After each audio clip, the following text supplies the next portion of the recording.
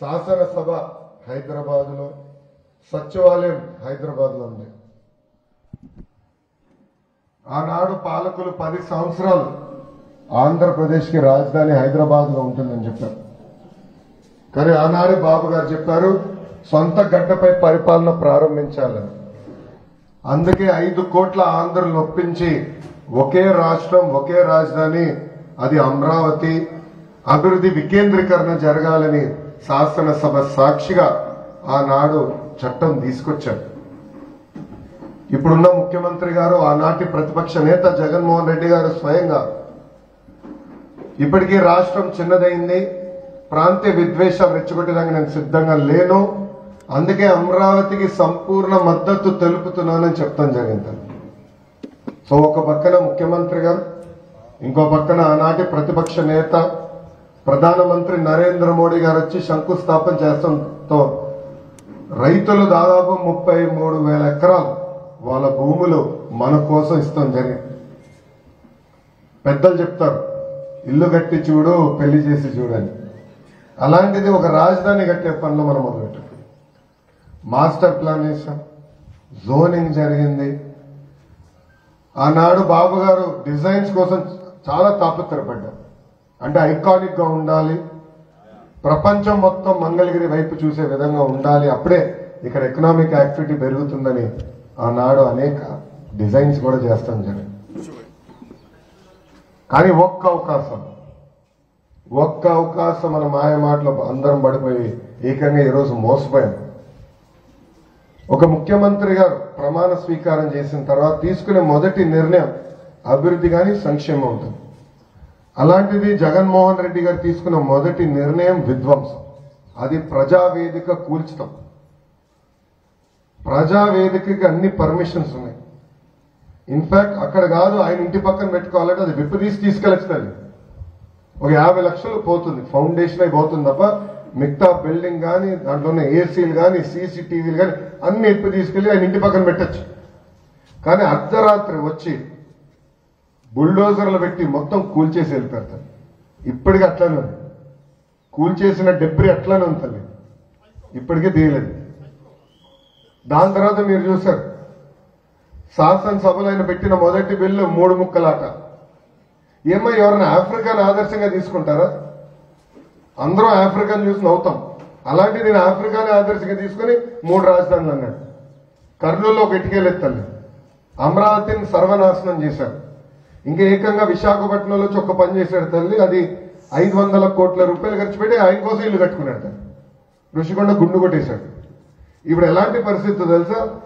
కేంద్ర ప్రభుత్వంలో ministry of forest Andhra రాష్ట్రం నోటీస్ జారీ చేస్తే ఆంధ్ర రాష్ట్రం ప్రభుత్వం దానికి సమాధానం ఇచ్చింది. మొదటిది రెండు వందల కోట్ల రూపాయలు ఫైన్ కట్టాలంట మనకు. Two hundred crores. లేదంటే అక్కడ కట్టిన భవనాలు సగం తొలగించాలంట. లేదంటే మొత్తం కూల్చేయాలంట అంటే చూడండి ఎలాంటి పర్మిషన్ లేకుండా ఆయన కొండకే గుండు కొట్టేసి ఇల్లు కట్టేసుకున్నాడు. అది కూడా ఐదు వందల కోట్ల రూపాయలు. మన డబ్బులు ఖర్చు పెట్టి కట్టాడు. ఈ విధ్వంసం వల్ల నష్టపోయింది మనం మన పిల్లలు. ఆనాడు బాబు గారు ఒక రాష్ట్రం ఒకే రాజధాని అని చెప్తే అందరూ అనుకున్నారు. ఓకే పెట్టుబడులు వస్తాయి ఉద్యోగాలు వస్తాయి మన భవిష్యత్తు ఉంటుంది. ఇప్పుడున్న చాలా మంది ఆన అప్పుడే ఇక్కడికి వచ్చిన వాళ్ళు కూడా ఉన్నారు. హైదరాబాద్ బెంగళూరు చెన్నై నుంచి. కానీ గత ఐదు సంవత్సరాలుగా మన ప్రాంతానికి ఒక్క పరిశ్రమ రాదు. ఒక్క అభివృద్ధి కార్యక్రమం జరగలేదు. ఎక్కడ కానీ ఒక్కరికి ఉద్యోగాలు వచ్చే పరిస్థితి లేదు. ఈరోజు నాకు ఎక్కడ బాధ వేస్తుందంటే ఇట్లా ఒక మీటింగ్లో అపర్ణాలో నేను మీటింగ్ పెట్టిన తర్వాత ఇక్కడ పోటీ చేస్తున్న వాళ్ళు ఎమ్మెల్యే గారు ఏకంగా వెళ్ళి అక్కడ అపార్ట్మెంట్ బ్లాకులతో మీటింగ్ పెడుతూ మంగళగిరికి కంపెనీలు రావని తేల్చి చెప్పేశాడు. ఐటీ కంపెనీలు రావని తేల్చి చెప్పేశాడు. అసలు పెట్టుబడులే రావంటే ఇక్కడ అంటే ఎంత అన్యాయం ఒకసారి ఆలోచించండి. మళ్ళీ కాంటినెంటల్ కాఫీ ఎలా వచ్చింది? కోకో కోలా ఫ్యాక్టరీ ఎలా వచ్చింది?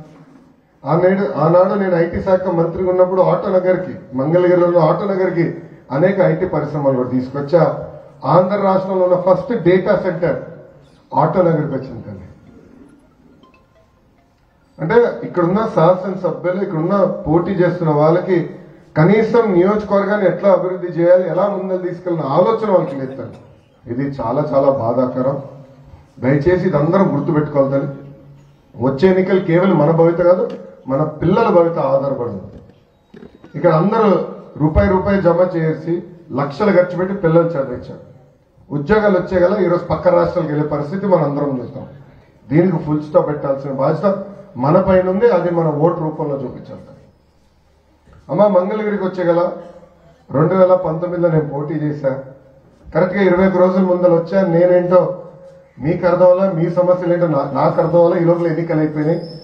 ఐదు వేల మూడు వందల యాభై ఓట్లతో ఓడిపోతాను కానీ ఓడిపోయిన ప్రతి క్షణం నుంచి నేను మంగళగిరిలోనున్న మంగళగిరి ప్రజలకు సేవ చేసేదాన్ని దాదాపు ఇరవై తొమ్మిది సంక్షేమ అభివృద్ధి కార్యక్రమాలు మంగళగిరి ప్రజల కోసం చేశాను అన్నిట్లో నేను ఈరోజు గర్వపడేది చేనేతలు ఆదుకునేదానికి టాటాలో టాటా సంస్థతో ఒప్పందం కుదిరించుకుని వాళ్ళ కోసం ఒక వీవర్శాల మంగళగిరిలో కట్టించి మళ్ళీ పూర్వ వైభవం తీసుకురావాలి మంగళగిరి.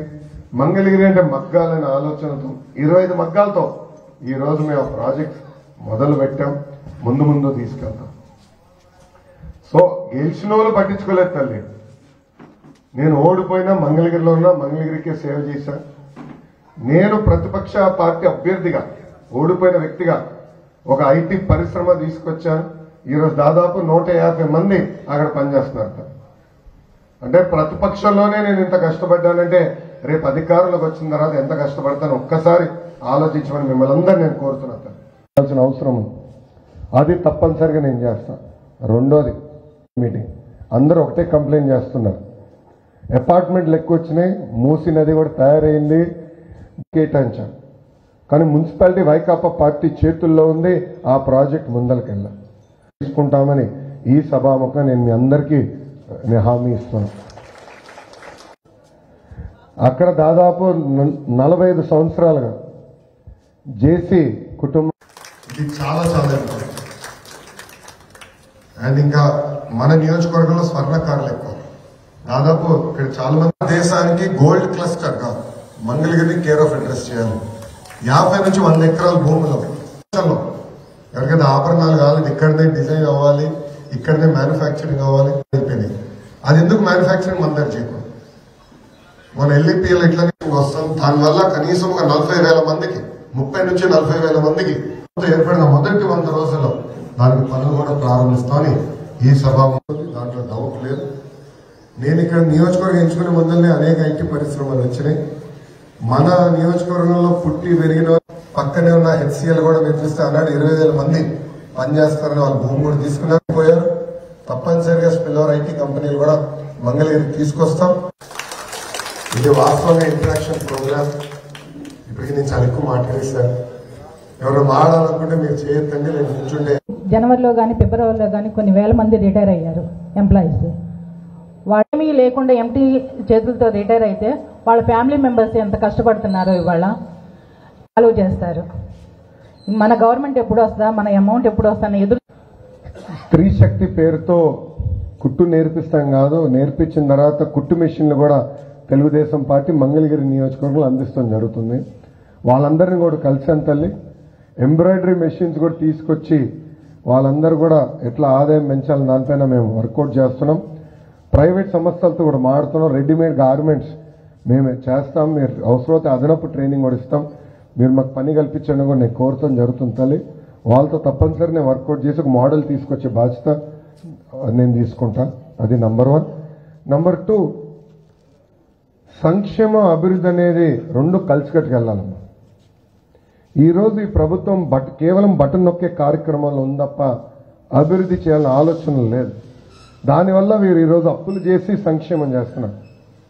ఆ అప్పులని ఈరోజు మనకు భారంలాగా మారుతాయి. మన ఎత్తి ఆంధ్ర రాష్ట్రంలో ప్రతి వ్యక్తి పైన అది భారం మోపుతున్నారు. ఈ నెల కరెంటు బిల్ వచ్చిందమ్మా? బాగా కాలింది. అందరి జోబులు బాగా కాలినాయి. అవునా కదా తల్లి? పోయిన నెలలో మూడు వేల రూపాయలు వచ్చే కరెంటు బిల్ ఈ నెల దాదాపు ఏడున్నర ఎనిమిది వేల రూపాయలు పెరిగిపోయింది. అంటే స్లాబులు ఎంత ఫాస్ట్గా మార్చేస్తున్నారో మనందరం చూస్తున్నాం తల్లి. దానికి కారణం ఈ ప్రభుత్వం అప్పు చేసి సంక్షేమం చేస్తుంది. మనం బ్యాలెన్స్ చేయాలి సంక్షేమ అభివృద్ధి రెండు జోడెద్దుల బండి రెండు ప్యారల్గా తీసుకెళ్ళాలి. అప్పుడే ఆంధ్ర రాష్ట్రం ముందరికి వెళ్తుంది. అప్పుడే మనకి ఇబ్బందులు ఉండదు నా అంచనా ప్రకారం దాదాపు ఇరవై ఐదు వేల కోట్ల రూపాయలు ప్రభుత్వ ఉద్యోగస్తులకి ప్రభుత్వం బకాయిలు పెట్టింది సకాలంగా జీతాలు చెల్లించట్లేదు. మెడికల్ రీఎంబర్స్మెంట్ జరగట్లేదు సరిగా. అమ్మ నేను పంచాయతీరాజ్ గ్రామీణాభివృద్ధి శాఖ మంత్రిగా ఉన్నప్పుడు కమిటీకి వెళ్తాయి అంటే ఒక అమౌంట్ కన్నా ఎక్కువ కమిటీకి వెళ్తే కమిటీ అప్రూవ్ చేస్తుంది.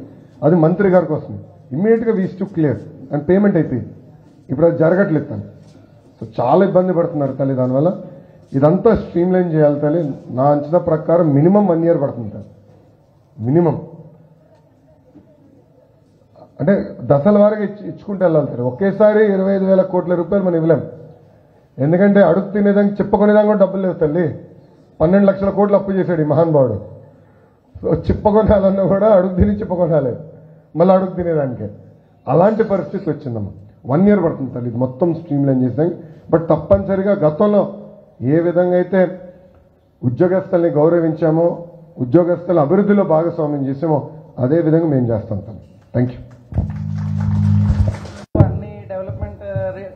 రిలేటెడ్ ఇష్యూస్ చెప్పారు. ఒకటి సర్వీస్ రోడ్లో స్ట్రీట్ లైట్స్ అన్నవి లేవు. ఎన్హెచ్ఏకి మున్సిపల్ కార్పొరేషన్కి మధ్యన కొన్ని ఇష్యూస్ వల్ల అక్కడ లైట్స్ అనేవి పెట్టట్లేదు. ప్లస్ రోడ్డు ఇక్కడ నుండి సెకండ్ అండర్ పాస్కి వెళ్తున్నప్పుడు ఒక సైడ్ బాగా స్లోప్ ఎక్కువ. అటువైపు నుండి ఫుల్ స్పీడ్ వస్తారు వెహికల్స్ దాదాపు ఎడ్జ్ వరకు ఉంటాయి. అక్కడ ఏమన్నా రిటైనింగ్ వాల్ లా పెట్టి కొంచెం రోడ్ అన్నది లెవెల్గా ఉంచితే మేబీ యాక్సిడెంట్స్ కొంచెం కంట్రోల్ చేయొచ్చు. ఇది అభివృద్ధి రిలేటెడ్ సెకండ్ మీరు ఇన్ని సంక్షేమ పథకాలు మీరే అనౌన్స్ చేస్తున్నారు. మీరు వచ్చినప్పుడు కూడా పాటలోని ఆల్రెడీ చెప్పారు చాలా అయ్యి. ఆల్రెడీ పన్నెండు పన్నెండున్నర పదమూడు లక్షల కోట్లు అప్పుల్లో ఉన్నది. వీటన్నిటికీ ఫండింగ్ ఎలాగవుతుంది? ప్లస్ అభివృద్ధి ఎలాగవుతుంది? ఇది కొంచెం వెరీ గుడ్ క్వశ్చన్ మీరు బాబు సూపర్ సిక్స్ హామీలు చూస్తే దాంట్లో ఇచ్చే మొదటి హామీ తెలుగుదేశం జనసేన ప్రభుత్వం ఏర్పడిన మొదటి ఐదు సంవత్సరాల్లో ఇరవై లక్షల ఉద్యోగాలు కల్పిస్తూ ఉంటున్నాం. గత ప్రభు అంటే మేము అధికారంలో ఉన్నప్పుడు రెండు వేల పద్నాలుగు పంతొమ్మిది మధ్యన ఐదు లక్ష ఆరు లక్షల మందికి ఉద్యోగాలు కల్పించాలని ఈ ప్రభుత్వం ఒప్పుకుంది. శాసన మండలిలో ఒక సమాధానం చెప్తాం. ఎనిమిది లక్షల ఉద్యోగాలు సారీ ఇరవై లక్షల ఉద్యోగాలు కల్పిస్తే economy two and half times grow అవుతుంది. ఎకనామిక్ యాక్టివిటీ పికప్ అవుతుంది. So economic activity pick up అయిన తర్వాత సంక్షేమం చేస్తాం. అంత కష్టమైన పని కాదు. తేలిగ్గా చేయొచ్చు. ఇంకో విషయం సంక్షేమం అనేది అమెరికాలో కూడా చేస్తారండి. చాలామందికి ఈ విషయం తెలియదు. Europe is one of the largest welfare continent కానీ అక్కడ మెరుగైన సదుపాయాలు కూడా కల్పిస్తారు. ఎడ్యుకే విద్య కానీ వైద్యం కానీ మౌలిక సదుపాయాలు కానీ ఇదంతా అందిస్తారు సో ఆ విధానం తీసుకురావాలనేది మా లక్ష్యం. So we will create economic activity and ఆర్థిక వనరులు తప్పనిసరిగా అభివృద్ధికి సంక్షేమానికి రెండు కలిసికట్టుగా తీసుకెళ్ళే బాధ్యత మేము తీసుకుంటాం. And that is my promise so we make ఆ వీధి దీపాల విషయం నాకు వదిలేండి అది ఒకసారి ఎన్హెచ్ఐతో నేను సంప్రదింపులు చేసి చూపిస్తాను. థ్యాంక్ యూ ఇంకొకటి అండి. అది కొంచెం. రివ్యూ చేస్తే మేబీ బెటర్ నా జియో నంబర్ ఒకసారి చెప్పండి. మేబీ అమ్మ చెప్పండి. Actually I want to ask మాకు ఎయిర్పోర్ట్ ల్యాండ్ డెవలప్మెంట్కి మేము ల్యాండ్ ఇచ్చాము. సో దాని ఎవరిగా తర్వాత అమరావతిలో అలాట్మెంట్ ఇస్తారన్నారు. సో సిఆర్డిఏ నుంచి మాకు అలాట్మెంట్ ఇంకా ఎప్పుడో అది been nearly more than six years seven years two thousand eighteen అప్పుడు మేము కొన్నాం. So it is gone blank so what is the solution for that the conclude solve this issue ఎందుకంటే చాలా మంది ఉన్నారు బాధితులు దాంట్లో. మన ప్రభుత్వం వచ్చిన మొదటి వంద రోజులు ల్యాండ్ ఎలకేషన్ చేపించే బాధ్యత నాకు will take care of it so ఆ రోజు బాబు గారు కొన్ని రేషియోస్ ఇచ్చారు. We will will honour it hundred percent will give the land back thank you but అది ముందే జరిగింది అది. అంటే it was nearly before elections it happened in around twenty seventeen or eighteen అప్పుడు జరిగింది. ల్యాండ్ ఎక్విజిషన్ జరిగింది. మన ప్రభుత్వం వచ్చుంటే అది అయిపోయి ఉండేది. ఈ ప్రభుత్వం వచ్చేది గాలికి వదిలేసినామా we'll క్లో will we will definitely give that land back అంటే అమరావతిలో ల్యాండ్ ఇస్తామని హామీ ఇచ్చాము. దానికి Telugu Desam party కట్టుబడింది hundred percent will give that no second thoughts about because మీరు మీరు ఆంధ్ర రాష్ట్ర అభివృద్ధి కోసం మీరు మీ భూములు ఇచ్చారు దాన్ని అండ్ ఆ రోజు ఒక్క పిలుపు మేరకు మీరు ఇచ్చేశారు. You didn't even argue so responsibility now lies on TDP more so so we will give the land no second thoughts about it thank you student student from university University. As student student, I only only concerned about jobs. Like, even though if we get the opportunities, we are not sure that the job is going to permanent for us. And moreover, if we're going to apply for the government jobs, it will be more on the BCs. They are the only persons who are getting the more opportunities. It is not dependent on our talent. It is like we have the BC certificate or anything. So, as we all know that Sir Chandrababu Naidu is the only person who developed the Hyderabad. అంత develop చేసి మనం వాళ్ళకి ఇచ్చేసి వచ్చేసాము. ఇక్కడ ఆంధ్రప్రదేశ్ నుండి మనం మళ్ళీ జాబ్ వెతుక్కోవడానికి మళ్ళీ వేరే రాష్ట్రానికి వెళ్తున్నాము. I don't want leave my native place and go to any other place the only thing is I would be very happy not only me all the students would be very happy if there are more IT opportunities in Andhra Pradesh in the five years of Telugu Desam government each district was given a focus in so Anantapur was automotive manufacturing in fact now now is fighting over Tesla Tesla తీసుకురావాలని ఆనాడు ఇలాన్ మస్క్ని కలిసింది చంద్రబాబు నాయుడు గారు. తర్వాత follow అప్గా నేను నేను వెళ్ళాను అమర్నాథ్ రెడ్డి గారు industries మంత్రిగా కూడా. Was to follow up with their team I had two meetings with their CF అని వాళ్ళు అనేవారు ఇంకా ఇండియా ప్లాన్స్ మేము ఫైనలైజ్ చేయలేదు. As and when we finalise we will definitely consider Andhra Pradesh but today our IT minister is busy thinking about which came first the chicken or the egg so ఎప్పుడో కంపెనీలు వస్తాయంటే కోడి ముందలు వచ్చిందా గుడ్డు ముందలు వచ్చిందా అంటాడు. కనీసం ఆమ్లెట్ వేస్తాం వచ్చారాదో నాకు తెలియదు ఈ మంత్రికి. So we are such incompetent incapable useless people as our ministers and that is the sad state of affairs in Andhra Pradesh అందుకే ఎవడు రాట్లా? ఈరోజు టెస్లా పెట్టుబడి పెడుతుందంటే ఇతర రాష్ట్రాల్లో కనీసం మాడుతున్నారు వాళ్ళని చేజ్ చేస్తున్నారు. ఇక్కడ అసలు మన మంత్రి గారు కానీ ముఖ్యమంత్రి గారు కానీ కానీ ఒక చీమ కొట్టినట్లేదు పట్టించుకోవట్లేదు. సో అనంతపూర్ ఒక ఆటోమేటిక్ క్లస్టర్గా చేసాం కియా తీసుకొచ్చి. చిత్తూరుని ఎలక్ట్రానిక్స్ మ్యానుఫ్యాక్చరింగ్ క్లస్టర్గా చేసాం ఎలక్ట్రానిక్స్ కంపెనీలు తీసుకొచ్చి. స్పోర్టింగ్ క్లస్టర్గా కడపని చేస్తాం రెన్యూబుల్ ఎనర్జీ క్లస్టర్గా ఒక్కసారి కూడా కరెంటు ఛార్జీలు పెంచాలి. ఈయన తొమ్మిది సార్లు కరెంట్ ఛార్జీలు పెంచాడు కరెంట్ కట్ చూడండి పరిస్థితి ఎలా ఉందో. ఇది ఆంధ్ర రాష్ట్ర పరిస్థితి. ఇక పరిశ్రమలు ఎక్కడ వస్తాయి తల్లి? చెప్పండి. ఇరవై నాలుగు గంటలు కరెంట్ ఇరవై నాలుగు గంటల కరెంట్ ఇవ్వలేకపోతే పరిశ్రమలు ఎక్కడ నుంచి వైకాపా పార్టీ ఆఫీస్ పక్కనే ఉంది. ఇక్కడ నుంచి కరెక్ట్గా రెండు నిమిషాల దూరంలో ఉంది. కనీసం సొంత ఆఫీస్కి ఇరవై నాలుగు గంటలు కరెంట్ ఇవ్వలేకపోతున్నారు. అలా ఉంది పరిస్థితి. అమ్మా ఒక్కొక్క జిల్లాకి ఒక్కొక్క ప్రాధాన్యత ఇచ్చాం అన్నాడు. సో ఉభయ గోదావరి జిల్లా మ్యానుఫ్యాక్చర్ ఫిషరీస్ పెద్ద ఎత్తున ప్రోత్సహించాం డిఫెన్స్ కూడా అక్కడ తీసుకొచ్చాం. అట్లా ఒక్కొక్క జిల్లాకు ఒక్కొక్క ఫోకస్ ఏరియా ఇచ్చి పదమూడు జిల్లాలు అభివృద్ధి చేయాలి లక్ష్యం తెలియదు ఒక్క కియా మోటార్స్ వల్ల ఆ ప్రాంత రూపురేఖలు మారిపోయినాయి. సో మా లక్ష్యం అది. తప్పనిసరిగా we have to create jobs అన్నాడు గారు ఇప్పుడే సంక్షేమమేగా అభివృద్ధి ఎక్కడ అని. మంది అభివృద్ధి సంక్షేమం కూడిన మేనిఫెస్టో మొదటి హామీ ఇరవై లక్షలు వచ్చారు దానికి మళ్ళీ పెట్టుబడులు తీసుకురావాలి ఇన్సెంటివ్స్ ఇవ్వాలి పెద్ద ఎత్తున ముందుకు ప్రోత్సహించాలి. బాబు గారు కానీ ముఖ్యమంత్రి ఇప్పటికీ టెస్లా ఆంధ్రప్రదేశ్ వచ్చారు హండ్రెడ్ పర్సెంట్. అలాంటి రిలేషన్షిప్ అలానే బాబు గారు ఇలాంటి మంది ఆయన తెలుసు వీళ్ళు వస్తారు ఆంధ్ర రాష్ట్రం భారతదేశంలో తప్పనిసరిగా ఆంధ్ర రాష్ట్రం అందరూ ఉండాలని ఆనాడే నిర్ణయించారు we're committed definitely thank you So the, the people came from other states and spent thousands of crores, thousands of crores. So we are expecting some good roads, sir. That's it. Remaining rest, the universities will take care. They have own funds, thousands of crores. They are ready to invest. So three campuses start sir, sir. Amity has to come. So those campuses comes, it's a, even even Hyderabad has a three to four universities. These four universities and KL and uh, uh, five universities we have in Vijayawada. Oh. So all build developer means we no need to go anywhere, sir. We can read here, we can study here, we can do the employment here itself. We no need to go anywhere. And in fact, in the larger Amaravati ecosystem education is only one part. అది మళ్ళీ mini సిటీస్గా మనం రూపొందించాం. Sports infrastructure ఒక పక్క రావాలి. Education already కొంత మేరకు వచ్చింది. Then companies ఒక పక్క రావాలి. So this lot of work still that needs to be completed see మీరు లుక్ ఎట్ హైదరాబాద్ బాబు గారు ముఖ్యమంత్రి అయినప్పుడు విజన్ ట్వంటీ ట్వంటీ అన్నారు. చాలా మంది ఎగతాళి చేశారు. ఆనాడు శంషాబాద్ ఎయిర్పోర్ట్కి ఐదు వేల ఎకరాలు అవసరం అంటే అందరూ అన్నారు ఐదు వేల ఎకరాలు ఎందుకండి? ఆ ప్రపంచంలో ఉన్న పెద్ద పెద్ద ఎయిర్పోర్ట్లు కూడా ఐదు వేల ఎకరాలు లేదు పోయారు అన్నెసర్లీ టేకింగ్ ల్యాండ్ అన్నారు. కానీ లుక్ శంషాబాద్ ఎయిర్పోర్ట్ టుడే వాళ్ళు ఫేజ్ టూ ఎక్స్పాన్షన్ కాదు. ప్యారలల్ రన్వేస్ వేసి దీనికి ప్యారల్గా ఇంకొక టర్మినల్ కట్టుకునేదానికి కూడా భూమి ఉంది వాళ్ళకి. సో హైదరాబాద్ గ్రోత్కి ఎలాంటి ఇబ్బంది ఉండదు.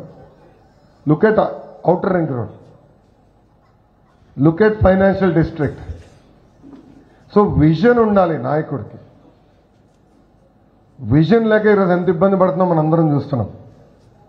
ఎయిర్పోర్ట్ అంటే కేవలం ఈ రోజు అవసరాలు కాదు రేపు వచ్చే వంద సంవత్సరాల అవసరాలు. మనం గుర్తుపెట్టుకుని కట్టాల్సిన అవసరం ఉంది. అది ప్రభుత్వం చేయట్లేదు definitely we will start all the works that were stopped in twenty nineteen with regards to Amaravati యుద్ధ ప్రాతిపదికంగా ప్రైమరీ ఇన్ఫ్రాస్ట్రక్చర్ ఇవన్నీ పూర్తి చేసే బాధ్యత తెలుగుదేశం జనసేన ప్రభుత్వం తీసుకుంటుంది. అమ్మా నలభై మూడు శాతం ఫిట్మెంట్ ఇచ్చింది ఎవరమ్మా? చంద్రబాబు నాయుడు గారు. ఆనాడు రెండు డిఎస్సీలు ఏర్పాటు చేసి నిరుద్యోగ యువతి యువకులకు అద్భుతమైన అవకాశాలు ఇచ్చింది చంద్రబాబు నాయుడు గారు. తెలుగుదేశం పార్టీ ప్రజలకు ఎప్పుడు గుర్తొస్తుందంటే కష్టకాలాల్లో గుర్తొస్తుంది తల్లి. నేను బాబు గారు చెప్పా అనుభవించే మీకు అదృష్టం లేదు స్వామి అని. ఎప్పుడు కష్టకాలాల్లోనే ప్రజలు మిమ్మల్ని గుర్తుపెట్టుకుంటారు. ఇప్పుడు రెండు వేల పంతొమ్మిది వరకు బాబు గారు అన్నీ సెట్ చేశారు. జీతాలు కూడా సకాలంగా చెల్లించారు. TA DA IR medical reimbursement everything was streamline కానీ అందరూ ఏం చేశారు? ఒక్క అవకాశం మోసపడిపోయి వెళ్ళిపోయారు. ఇప్పుడు కష్టకాలాలు వచ్చినాయి. అందరు ఇబ్బంది పడుతున్నారు. మళ్ళీ గుర్తొచ్చేది ఎవరు? చంద్రబాబు నాయుడు గారు. పాప నిజంగానే బాబు గారికి అధికారం అనుభవించే అదృష్టం లేదండి. నిరంతరం కష్టపడే జీవి. అమ్మ definitely I'll take one year నేను ఓవర్ నైట్ అవుతుంది అన్నట్లు. I'll take one year to streamline everything because మీరు చూస్తున్నారు సిఎఫ్ఎంఎస్ మనం తీసుకొచ్చాం to streamline entire financial disbursement వీళ్ళు అవుట్ ఆఫ్ టర్న్ పేమెంట్లు చేసుకుంటున్నారు. వాళ్ళ మనుషులకి అడ్డగోలుగా ఇస్తున్నారు. చేయని పనులు కూడా డబ్బులు ఇచ్చేస్తున్నారు. We're proof of it so ఇవన్నీ స్ట్రీమ్ లైన్ చేయాలి డెఫినెట్గా ఫస్ట్ నాడు జీతాలు చెల్లించాలి. ఇన్ఫాక్ట్ మన ప్రభుత్వం ఉన్నప్పుడమ్మా ఫస్ట్ సెకండ్ కానీ పండగలు వస్తే థర్టీ ఫస్ట్ థర్టీ ఎత్తే జీతాలు చెల్లించాం. బాబు గారు చాలా చెప్పారు. ఎందుకంటే అందరికీ ఈఎంఐలు ఉంటాయి. ఇప్పుడు ఇక్కడ చాలా మంది ప్రైవేట్ కంపెనీలు కూడా పనిచేస్తున్నారు. మనకి ఈఎంఐలు ఉంటాయి అపార్ట్మెంట్ ఈఎంఐలు ఉంటాయి ఇతర ఈఎంఐలు కట్టుకోవాలి. సో పదిహేనో తారీఖు జీతాలు ఇస్తే ఏమవుతుంది? వాళ్ళు ఈఎంఐలు కట్టలేకపోతున్నారు. దానివల్ల ఏమవుతుంది? సివిల్ స్కోర్ దెబ్బతింటుంది. ఇప్పుడు అసలు అన్ని టెక్నాలజీతో అనుసంధానం చేశారు. ఒక్క పేమెంట్ ఒక్క రోజు లేట్ అయిపోయినా సివిల్ స్కోర్ పడిపోతుంది. మళ్ళీ లోన్లు వచ్చే పరిస్థితి లేకుండా పోయింది. And as it is banks ఇవ్వరు. సరిగా మనకి లోన్స్ రాజకీయ నాయకులకి ఇవ్వరు. గవర్నమెంట్ ఎంప్లాయీస్కి ఇవ్వట్లేదు సరిగ్గా. సో సివిల్ స్కోర్ వల్ల మళ్ళీ ఇంకా ఇబ్బందులు ఎదుర్కొంటాం. So definitely we will streamline first ప్రతి నెల ఒకటో తారీఖు నాడు జీతాలు చెల్లించే బాధ్యత మేము తీసుకుంటాం. Pending బకాయిలన్నీ it take about year definitely అది స్ట్రీమ్ లైన్ చేసి చెల్లిస్తాం.